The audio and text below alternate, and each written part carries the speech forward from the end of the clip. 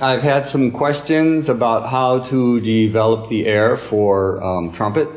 Um, this is especially useful for the upper register. You want to be able to play through the horn, not up against the horn for best results. So anyway, the simplest way to do this is to get yourself a candle and a paper towel tube, something like this, and try to blow out the candle. You won't be able to do it one puff probably. If you can, more power to you.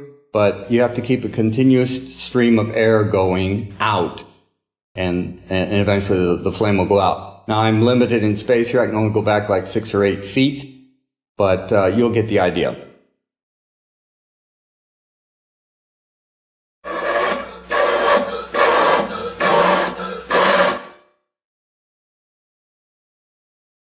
Okay, you can see that went out pretty quick because I couldn't get back far enough because of the green screen. But um, my record is 16 feet, so have at it. That's my quick tip Tuesday trumpet tip.